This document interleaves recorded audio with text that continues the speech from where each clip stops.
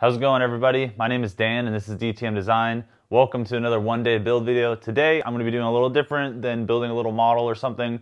Uh, we're actually going to be doing uh, screen printing a t-shirt. It's going to be a multicolored shirt. Uh, so it's going to have multiple layers to the process. And throughout this video I'll kind of teach you how screen printing works and how you can use a vinyl cutter to do it. Um, so yeah, let's get right to it, guys. I hope you guys enjoy this video, and here we go. So to start this process out, um, I pretty much went ahead and found uh, the image that I wanted to be recreating, and from this one, it is the it's a free inside uh, toy that was on a Doritos bag from the early 1999 uh, Star Wars, and pretty much I'm just going through on Illustrator and recreating each layer of each different color that I am going to include. So like the C3PO you can see has some like reflective lighting and stuff. I'm not going to be doing that. I'm just going to be doing solid color, but pretty much I go through use the pen tool to create all this stuff, um, image trace to kind of get some of this some of the black lining that I need and just deleting what I don't and just pretty much building up this image that's built into several different layers as you can see here and those will be the different layers I use to screen print. Now using uh, the vinyl cutter software, I go and I bring those in and I create the line works and the cut pass for the blade on the vinyl cutter, and then reverse those images, and then those will be used on the screen to print the t-shirt, and so you'll see how that all happens throughout the rest of this video.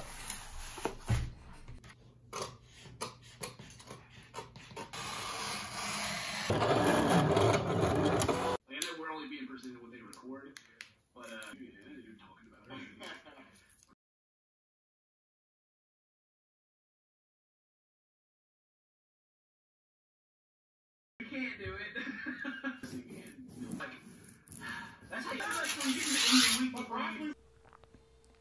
All right, so we're not in my usual working area that I do the videos in. This is just my little office area. Uh, this is where I have my screen printing stuff set up. So pretty much for screen printing, you have, you need your screen, obviously, what you would like to print on, a good hard surface to print on top of, um, I also like to put something in between the shirt. It's a good divide so the ink doesn't seep through to the other side of your t-shirt when you're printing.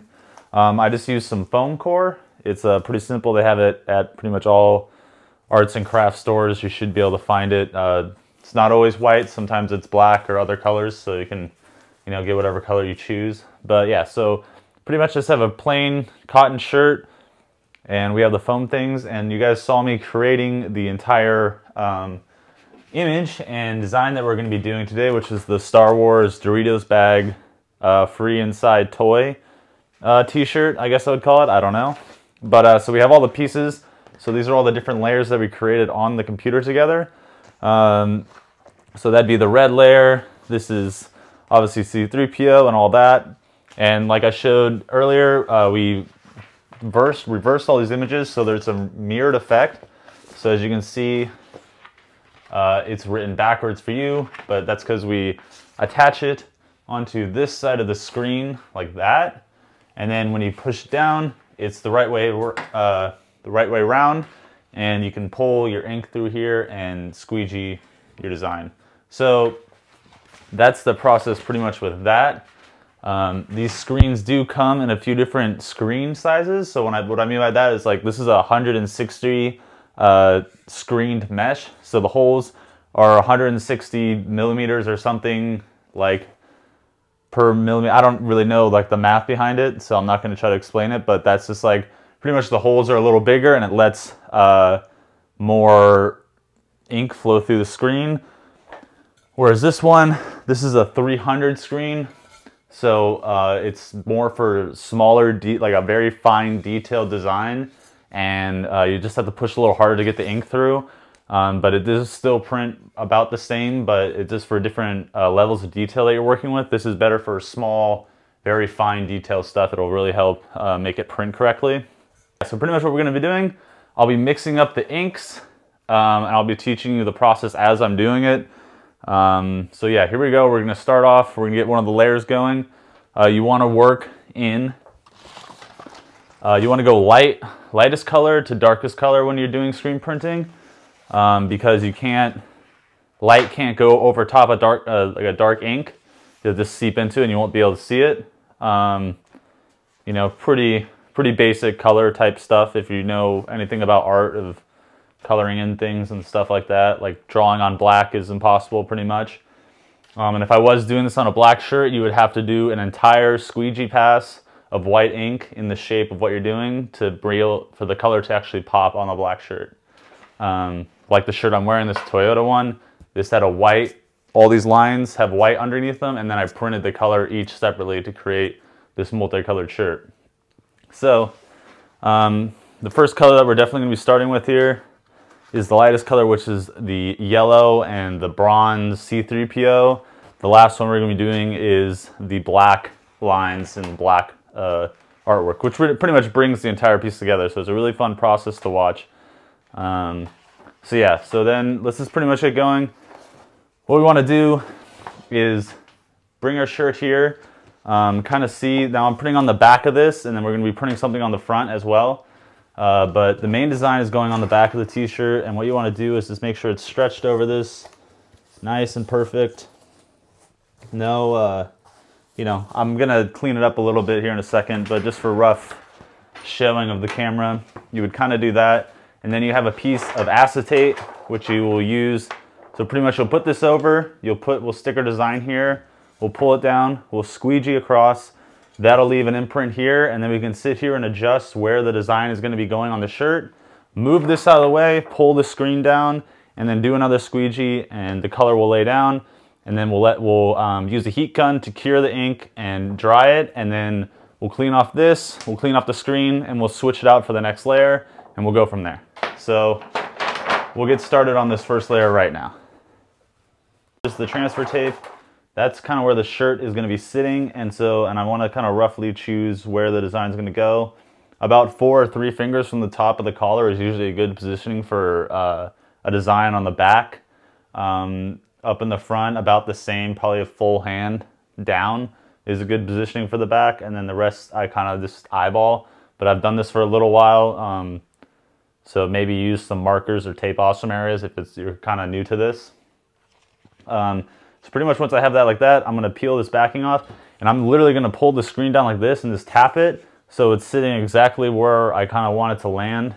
Um, just making alignment easier and all that stuff, knowing that it's gonna get onto this acetate well and just knowing I'm not gonna have it in a position on the screen where I can't get where I want it to go on the shirt over there. So like I'm saying, if I put it here, there's no way I can get the middle of the shirt under past these hinges. So um, yeah. I have this yellow right here that will be used for this piece and this part. And then uh, it took me a little bit of time, but I finally got sort of an, a C3PO uh, metallic brownish gold. I used like a pearl white, uh, metallic pearl white that I had, some yellow and some orange, uh, a little bit of like brown uh, ink that I had, and have official ink screen printing brown. So I did that, but yeah, that's what that looks like two different size squeegees. Here's a bigger one that would probably be used for like a full large pull like that. Um, and here's the small one that has a shit ton of ink on it. Hang on. So another thing, always good to make sure your hands are nice and clean before you touch anything that's gonna be, uh, that's important. Make sure your table is clean. Before we move like a sleeve over there, you don't wanna get ink on some random little spot of your shirt.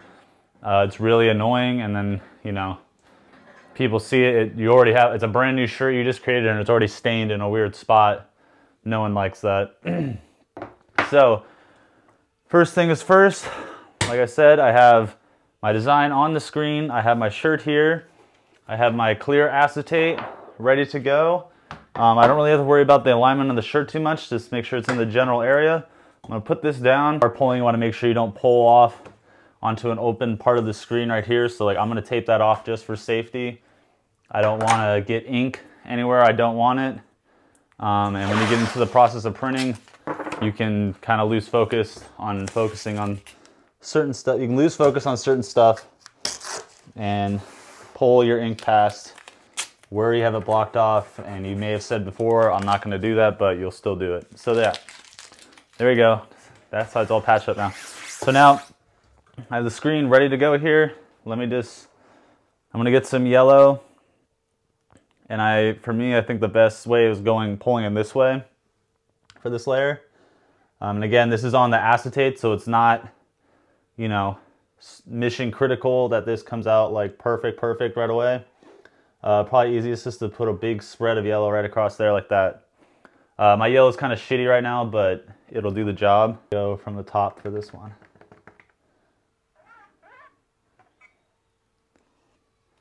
All right, so now that we have our inks laid down, the first step is to lightly drag the squeegee over your opening or your design or your stencil, whatever you want to call it. And you want to flood the screen so that the ink is in every part of the design and you're not missing uh, any part of the design. I'm going to wipe off a little bit of excess yellow off of this onto this paper towel. Be careful where that paper towel ends up because you don't know what kind of mess it'll make. And then we're gonna do the same thing here.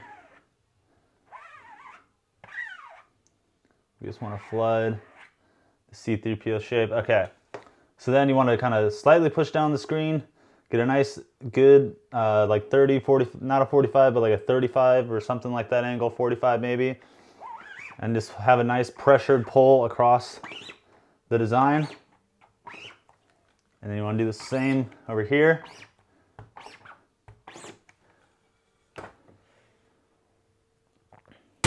And so yeah, uh, let me double check, make sure you can see that. My design, and as you can see, it's just on the acetate, so it's not on the shirt yet. So what I'm gonna do is sit here and align this. So now, like I said, the four three finger rule is what I'm gonna follow here. And I'm just gonna try to get this, um, this, try to keep this like exactly where you found it. It's not like, it won't kill you if it's a little off, but when it comes to lining up um, other like the extra parts to this, it's actually a little more key than it is now. This is first placement, so wherever you place this, everything follows uh, alignment wise and all that. Okay.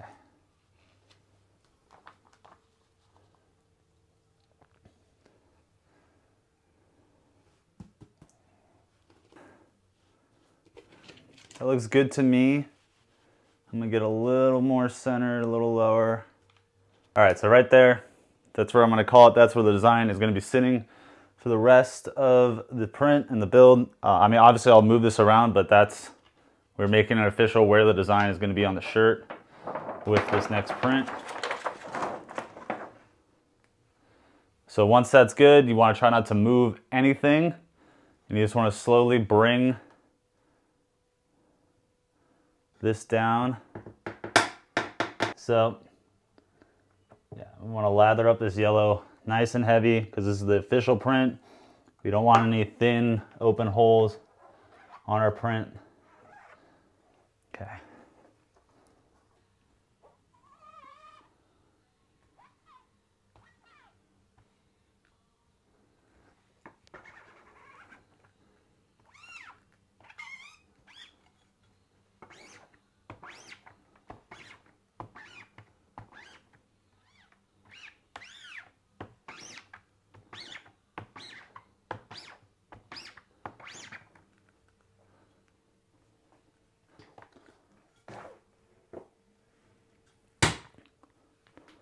First layer went off without a hitch.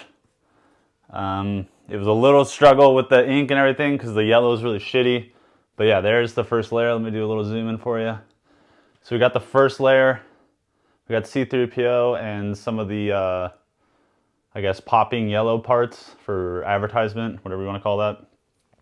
All right, so now what we got to do, we'll use this heat gun here and we'll dry that and then we'll get the next layer going and I'll show you how to line something up and then from there we just do all the layers then the shirt will be done. Right, so we're moving on to the next layer here. So I already have it all set up. This is the red layer. So this is like the words, uh, 3D dish motion, uh, 3D motion disc, collect all 20 free inside. So pretty much what we're gonna do, since I didn't have to mix up the sink, it's gonna work a lot faster, a lot smoother than the last one. It was just a lot more work. So what I'll do is make sure this is nice and taut, nice and flat, laying where we want it, remembering kind of where it is. So it doesn't shift a little bit at all when we go to print on the actual shirt. So what I'm gonna do, same as last time, put some ink here, flood it, print it, line it, move the screen, print it on the official thing, and then dry it, clean it, And after that, we're just gonna pound through the rest of these. I don't need to show you step by step of how it's going. You kind of get the idea. And then we'll get to our final result. And I hope you guys have enjoyed the video so far. So here we go.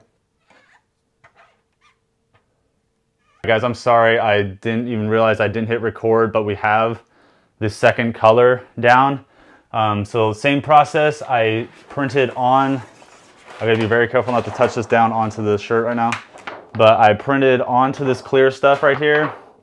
Um, we did our test print, then we went and aligned it to where we needed to put it onto the shirt.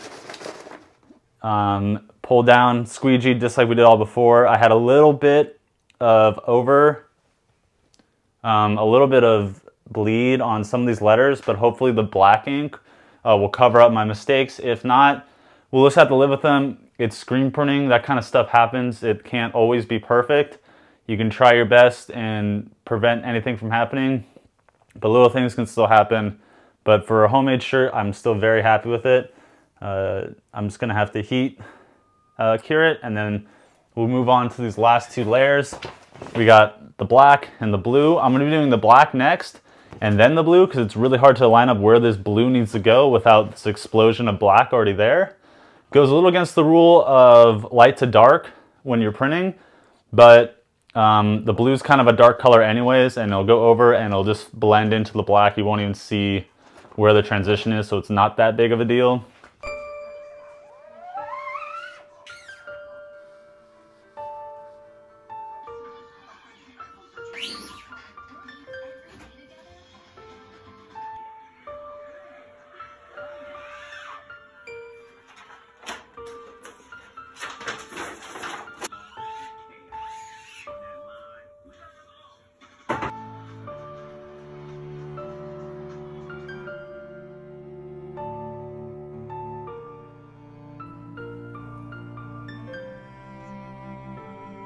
The Star Wars trilogy is back on the big screen and with selected bags of Doritos.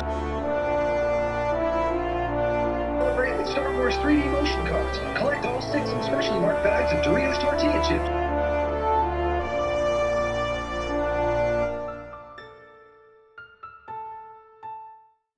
All right, everybody, that was this week's one day build. I had a lot of fun uh, screen printing and showing the process and creating that shirt together.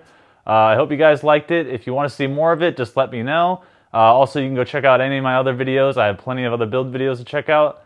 And uh, if you could just please comment, like, and subscribe below, I'd really appreciate it. And it helps my channel a whole bunch. And so, see you guys in the next one and have a great day.